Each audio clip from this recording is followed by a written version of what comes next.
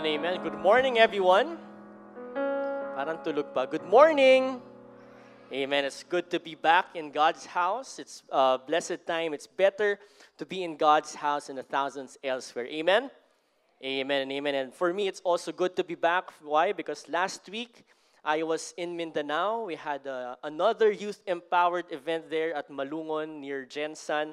And once again, God had done miraculous things and God had empowered all the youth of Mindanao. We just give God our very best clap offering for that.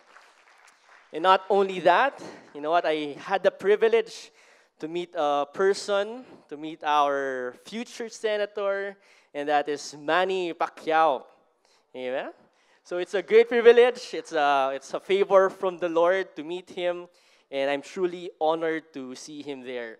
And you know what? This part, this picture is not part of the message. Gusto ko lang po kayong inggitin. and today, but today, are you excited to hear God's word? Are you excited to hear God's word? Amen. So if you're excited to hear God's word, pwede ba natin once again give God our very best clap offering? Amen. Hallelujah. So in our lives, as we commute, as we drive our cars, how do you feel if someone overtakes you? Have you been overtaken for those who have cars, right? Oh, for those who are commuting, uh, a bus suddenly cuts you, suddenly overtakes at you, and how do you feel? What do you feel if someone overtakes you?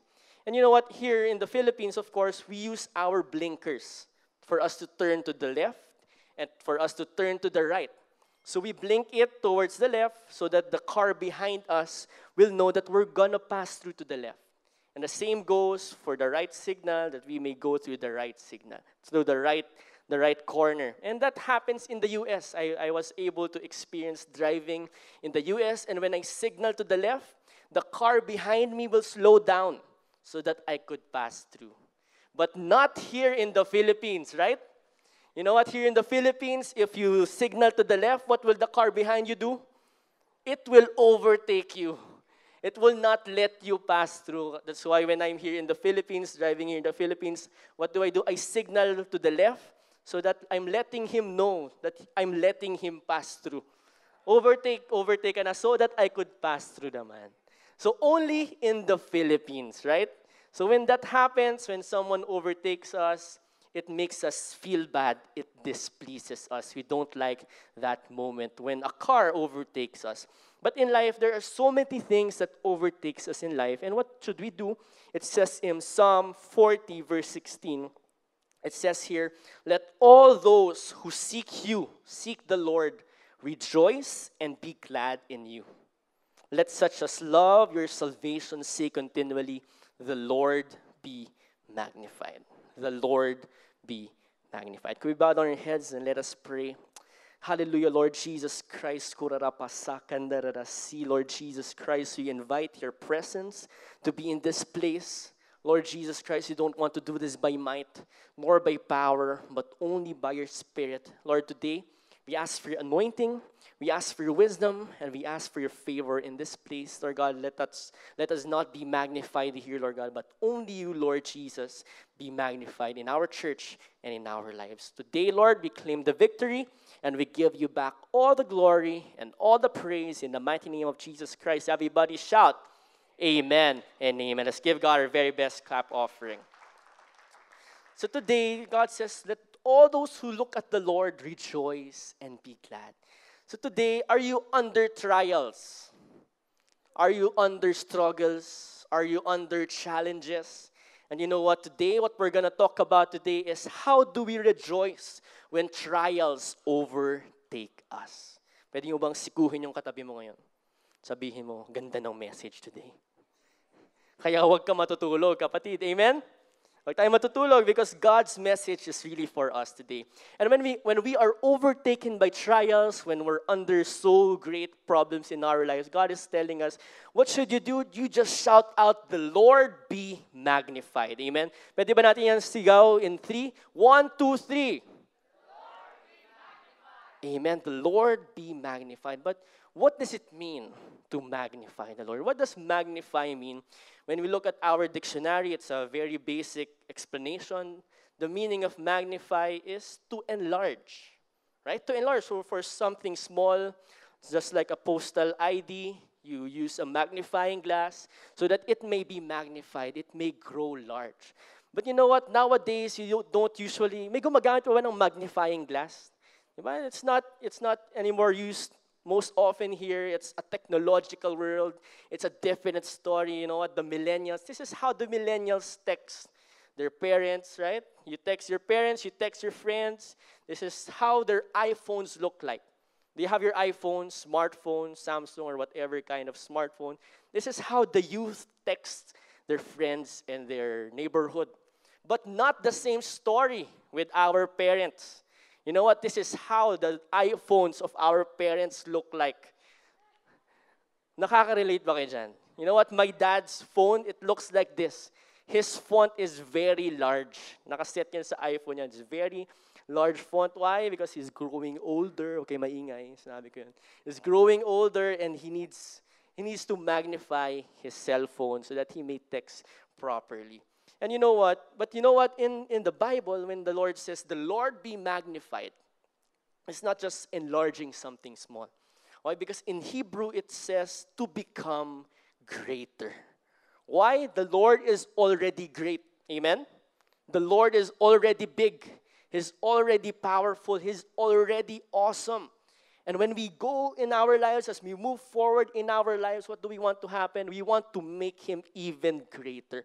Why? Because the purpose of our life is to, mag- to magnify Jesus. The purpose of my life, the purpose of your life is to magnify Jesus. Amen? But, it says in His Word, but I am poor and needy.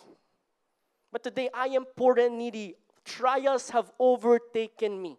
Trials have overtaken my life. And when trials overtake us, what happens? We magnify our problems. We magnify our trials.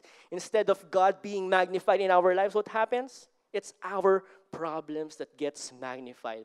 And it says in the next verse, it says, Yet the Lord thinks upon me. You are my help and my deliverer. Do not delay, oh my God.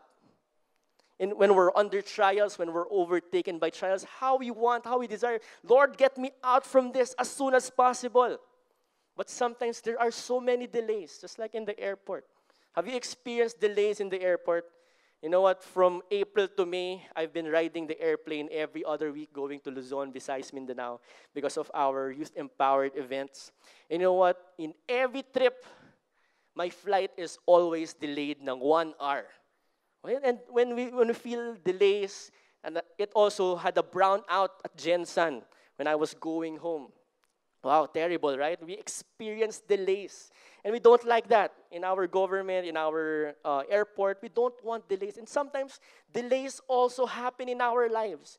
Sometimes you don't know why God is not answering us. There's so much delays. And we don't like that in our lives. And when that happens, we get to magnify our trials, our problems. So, how does trials overtake our lives?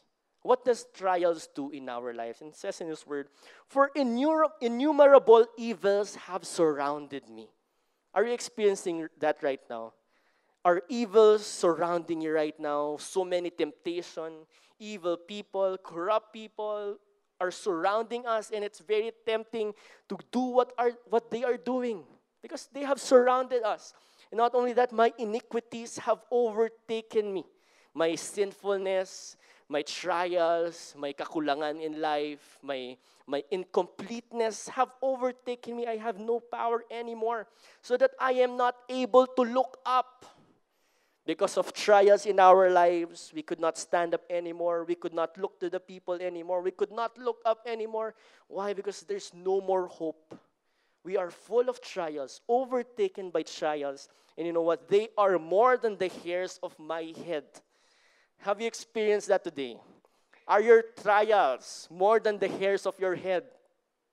Are you experiencing that right now? That's really a hard time, a very tough time. And the writer of this psalm says, Because of that, my, my heart fails me. I would just want to give up. I just want to surrender this battle because my trials have overtaken me. So is this script true? Is this verse true? You know what? It's true. Why? Because it happened in the life of David. Who knows David? Of course, we know David is the second king of Israel. You know what? This is the this is the trials of David. And number one, the trial of David. Why? Because Saul, King Saul, his king wanted him dead. King Saul ordered his men to kill David. And you know what? Speaking of a king, we also have a new king, new president in our country. At tanong ko sa inyo, nanalo po ba ang binoto nyo? Woo! you know what? Sa Mindanao, tinanong ko rin tong tanong na to and everybody was shouting talagang buong Mindanao para kay Duterte and he, he talagang panalo siya sa Mindanao.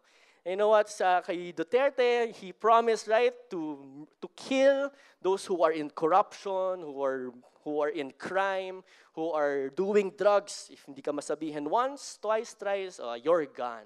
Diba? So, wala nang ano talaga dito. No more crime in the Philippines. Well, it's a good thing. But you know what? For David's life, King Saul wanted him dead. King David, but David, he's not yet a king at that time. When David did nothing wrong, he's not corrupt, he's, he didn't do any crimes, he did not do drugs. David was clean. He has done nothing wrong, but his king, his president, wanted him dead. So, how would David feel?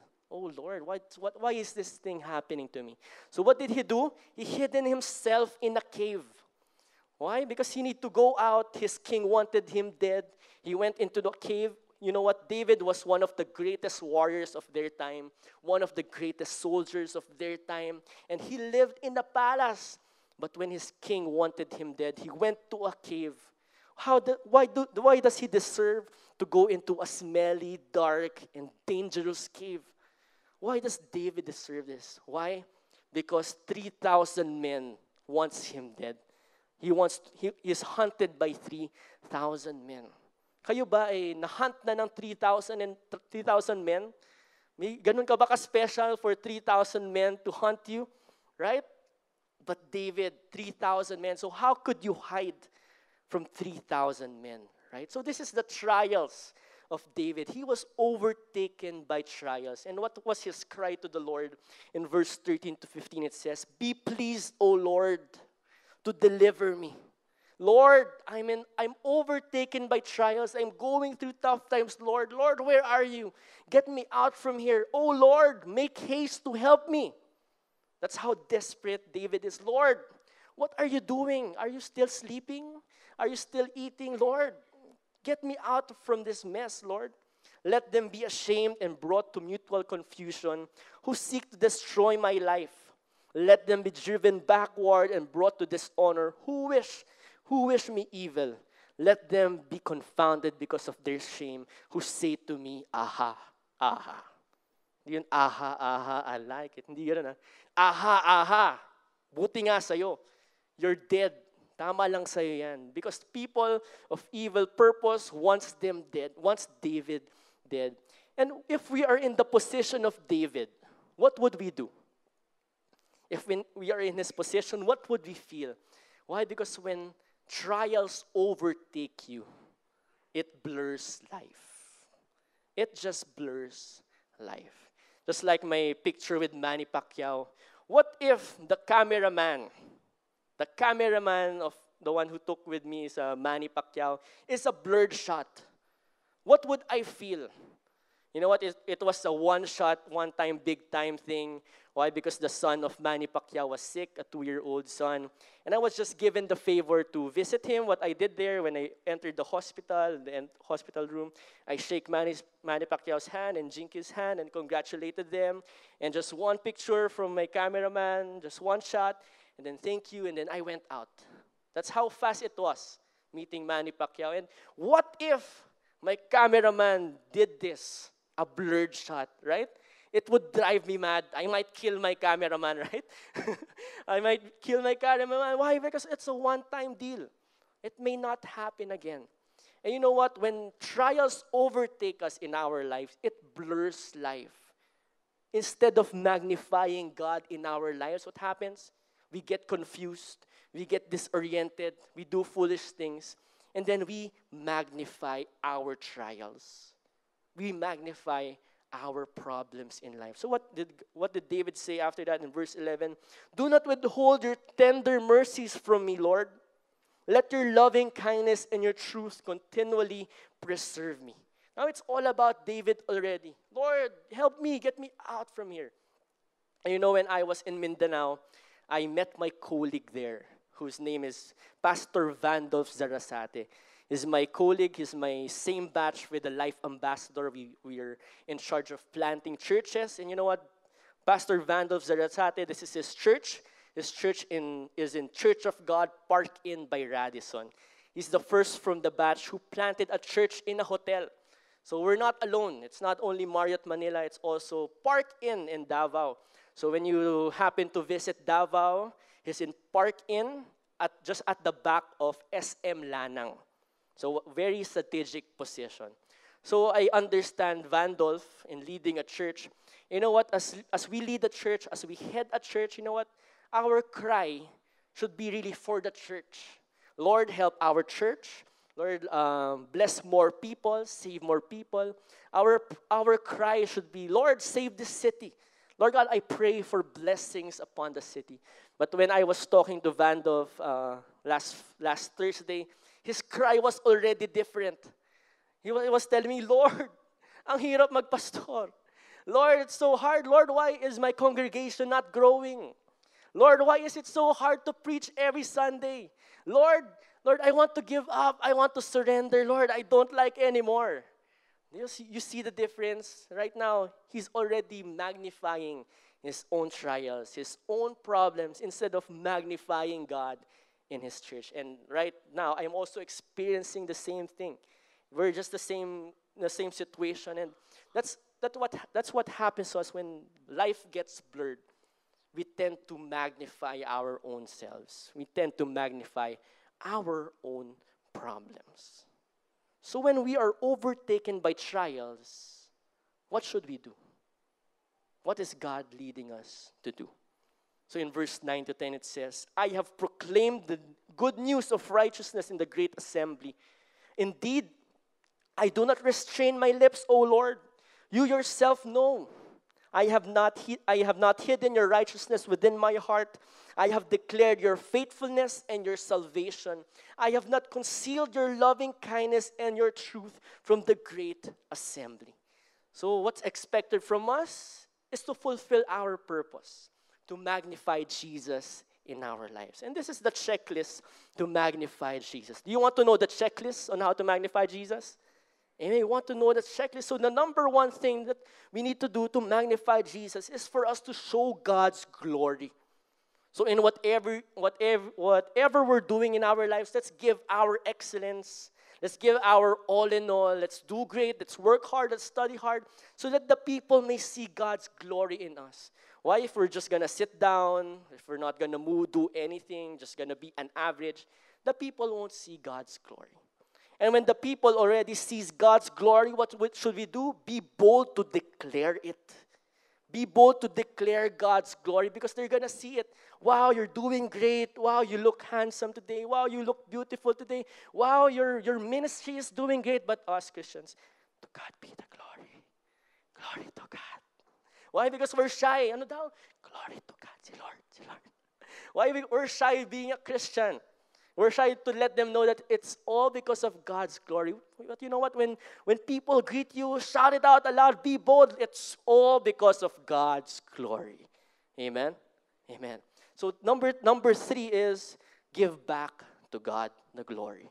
Because some of us do, does it. Yes, glory to God, glory to God, praise God. But when we're alone already, no, it's me. I'm handsome. It's if not because of me, there's nothing. There's not going to be a church here. If not because of me, no, it's not going to happen. Diba? Sometimes it happens, right? We say it's me. But when we're just alone with God, still give back all the glory to Him. Just give back all the glory to Him. And you know what? David perfected this checklist when he defeated Goliath. You know the story? David and Goliath? Right? David defeated Goliath. He was excellent. He worked hard. He studied hard for it. He gave his best, and David and Goliath became dead. Why? Because David was strong. God was with him.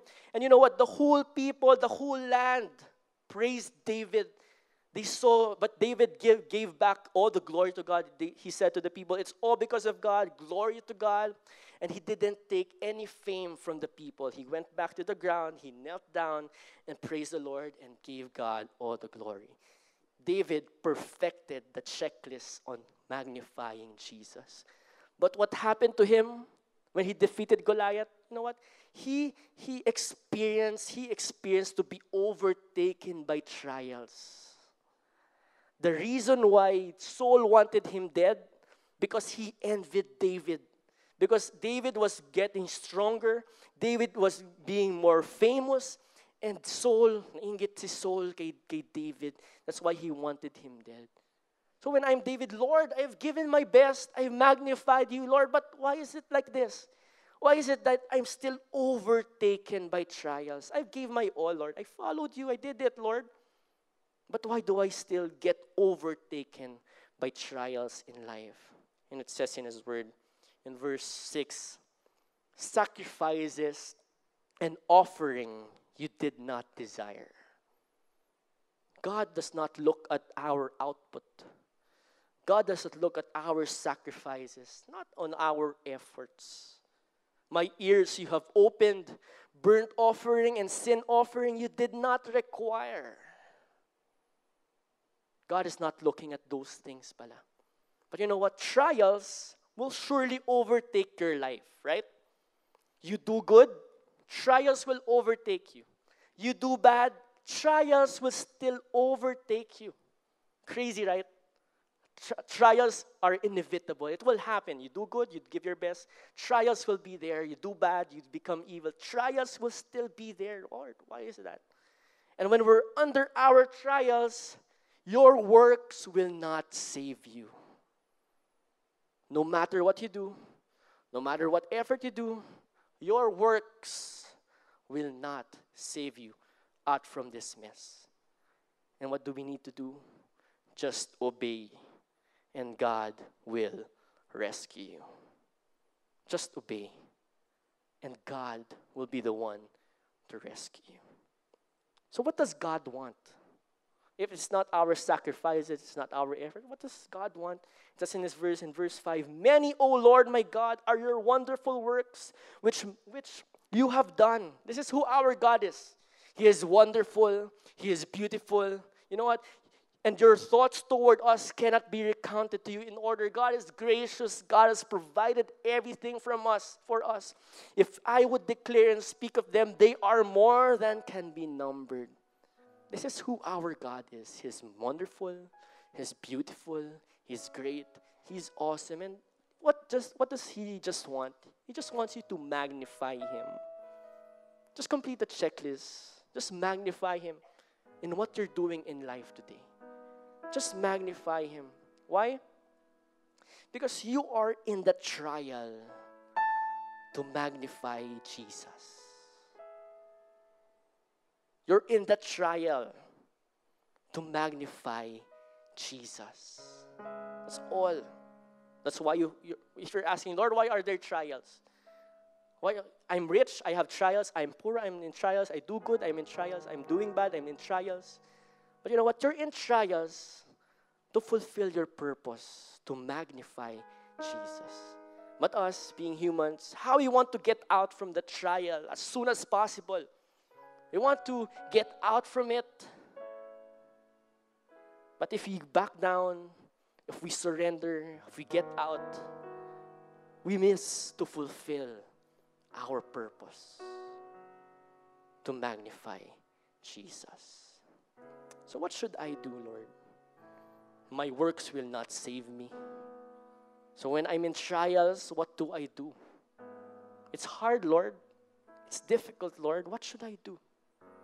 So, this is what David did when trials overtook him.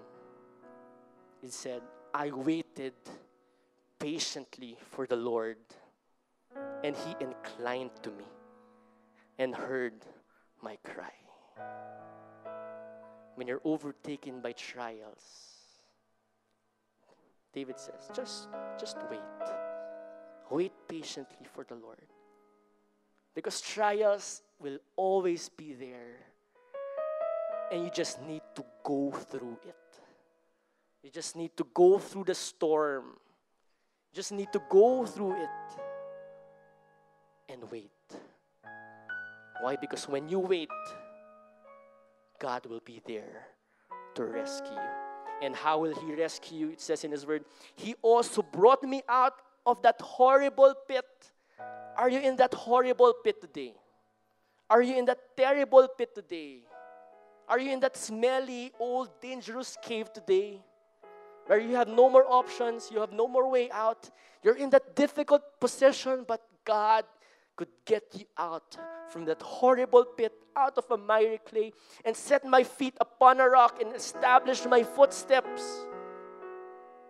Why? Because when we're in that horrible pit where we're overtaken by great trials, it's very hard to stand up. It's very hard to establish our feet. It's very hard to look up once again, but when we wait upon the Lord, He's going to establish our footsteps. And what will happen again to us? He has put a new song in my mouth.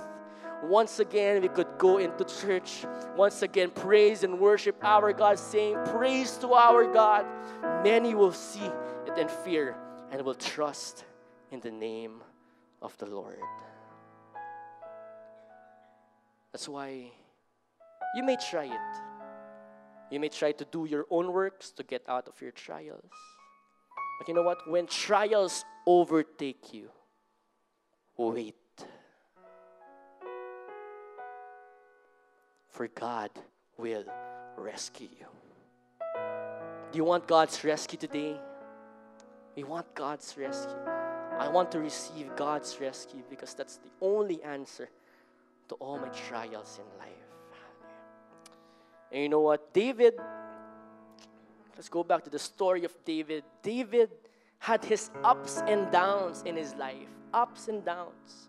He was at an up when he defeated Goliath. It was a glorious day.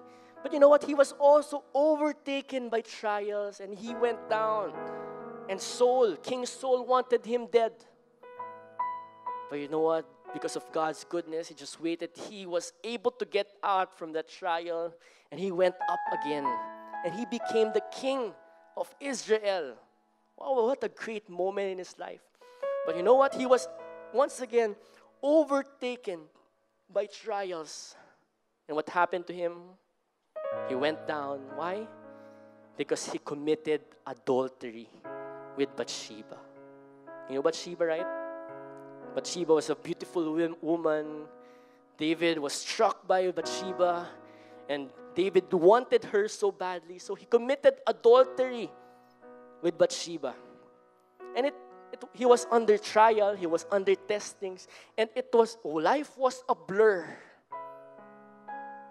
He wants to hide his own trial. He wants to hide his own shame. That's why what did he do? Bathsheba kasi had a husband. So what did he do? He ordered his people to send Uriah, the husband, into the front line of the army. Para hindi mabisto si David, para okay lang yung kanyang ginawa. Send Uriah in the front of the army. And what happened? Uriah died. The husband of Bathsheba died.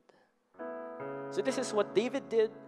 In verse 9, when God was already talking to him through prophet Nathan, he says, Why have you despised the commandment of the Lord to do evil in his sight? You have killed Uriah the Hittite with the sword you have taken his wife to be your wife, and you have killed him with the sword of the people of Ammon. How cruel you are, David. What have you done?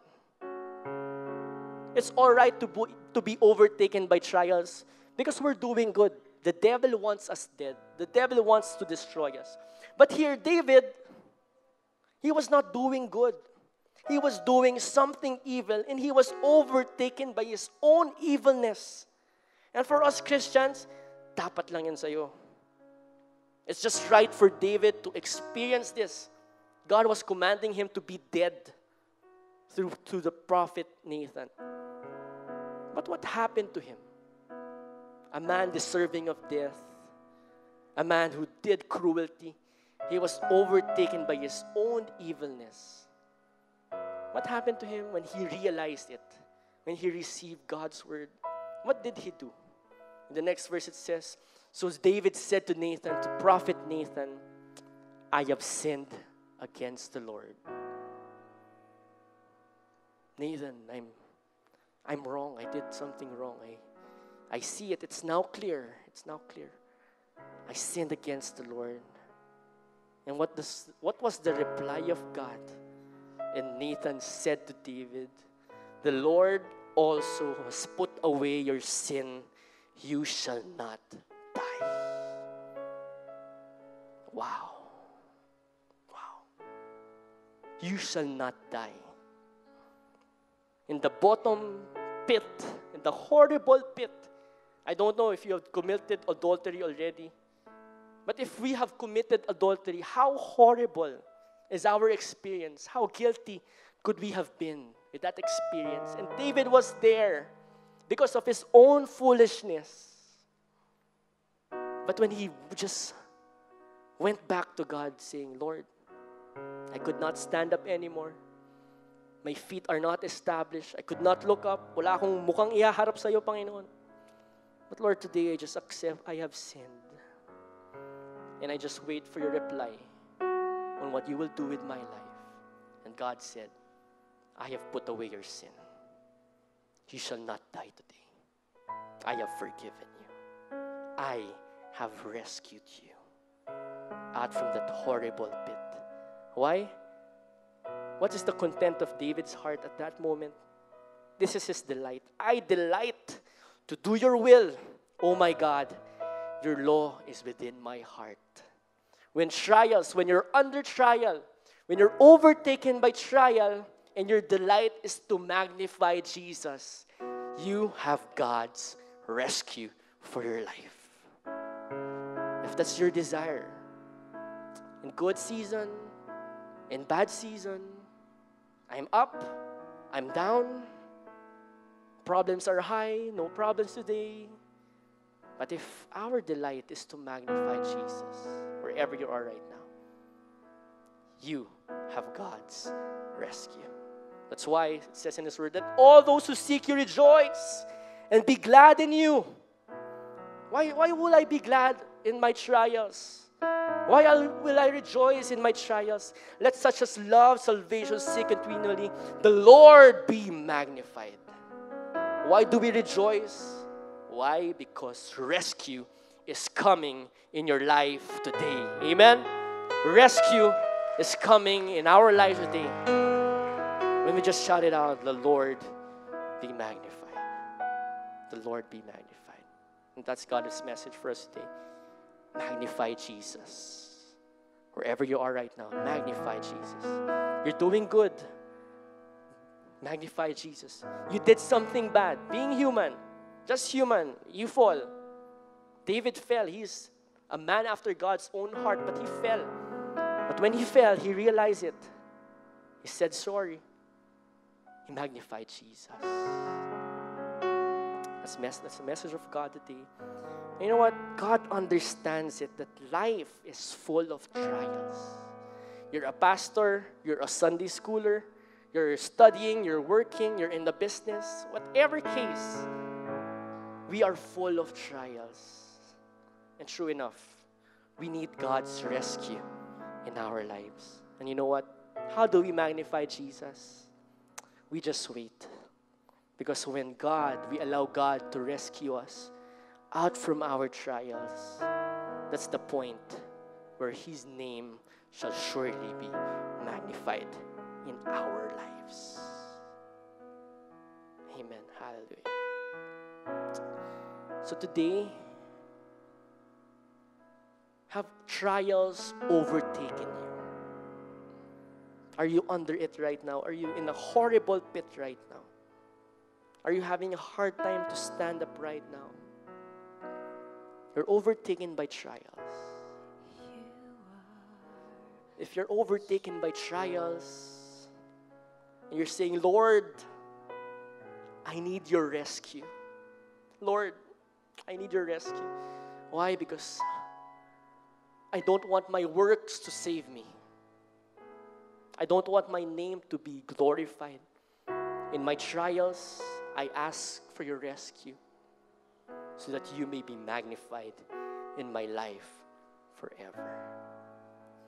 So if that's you saying, Lord, please rescue me, I invite you to come to the altar and we will wait for the Lord and receive his rescue for our lives. So as the worship team sings this song, you're free to come to Jesus and receive your rescue from the Lord.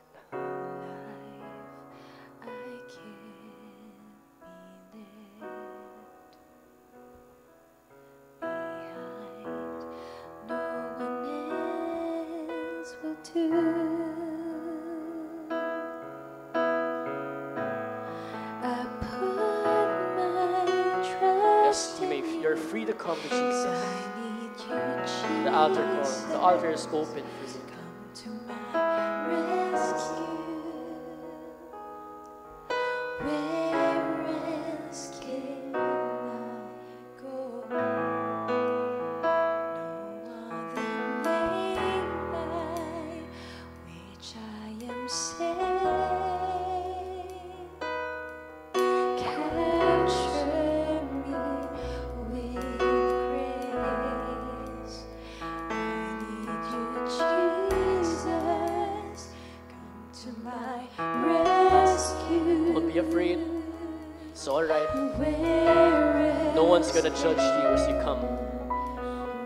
going to condemn you as you come.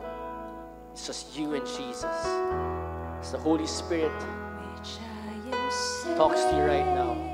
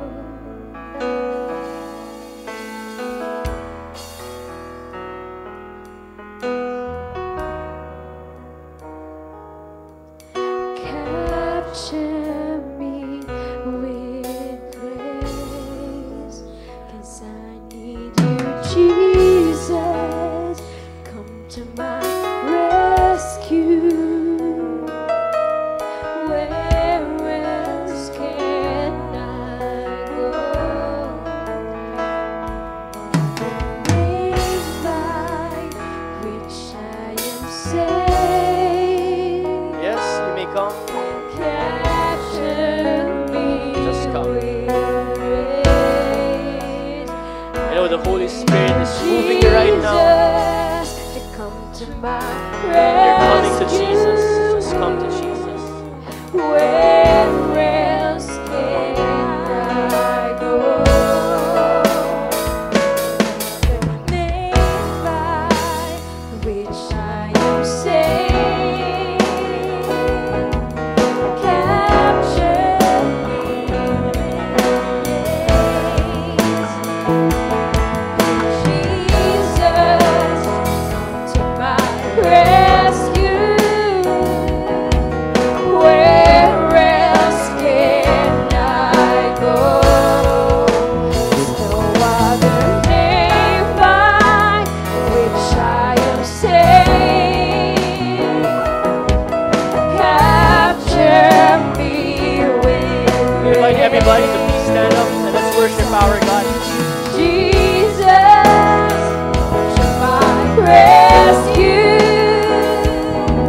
away.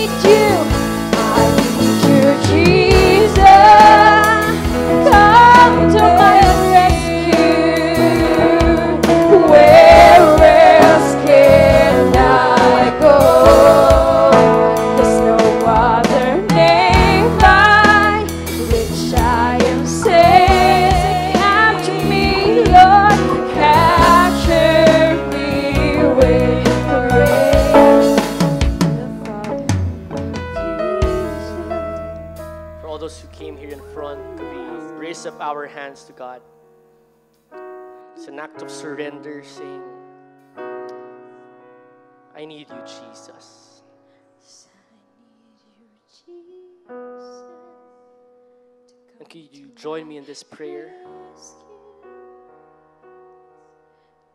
Lord Jesus Christ, I'm under trials. I'm overtaken by trials. I'm overtaken by trials. And Lord God, my works Lord, my works will not save me. will not save me. So I tell you right now, Lord, So I tell you right now, Lord, I need you, Jesus. I need you, Jesus. I need your rescue. I need your rescue. I want your rescue I want your rescue for my life today. for my life today. I've done foolish things. I've done foolish things. I've done evil things. I've done evil things. I've also done great things, Lord. I've also done great things, Lord. But today I realize. But today I realize I am gonna still be I'm gonna still be overtaken overtaken me by trials. by trials. And Lord, And Lord, only you only you can save me. can save me.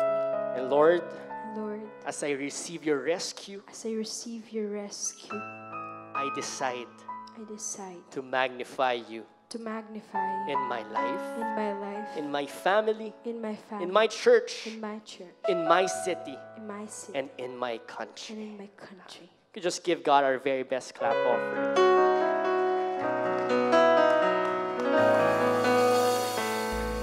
Hallelujah. Lord Jesus Christ, Lord God, here are your people. Lord God, we're, we're just humans. Lord God, we don't know everything. Lord God, we don't know what's happening in our lives. We don't have the right perspective, Lord God. You're doing good, Lord God, but still doing, Lord God, having trials, Lord God. We've done bad in the past, Lord God, and still experience trials, Lord God. But today, this church comes to you. And Lord God, we will not magnify our lives. We will not magnify our names. We will not magnify our trials and problems anymore, Lord. It's only you, Lord Jesus Christ, that we will magnify in our lives forever. Today, could we raise up our tithes and offering? Let's lift them high. This is an act of worship. This is all for the glory of our God. Join me in this prayer. Lord Jesus Christ, thank you for this tithes and offering.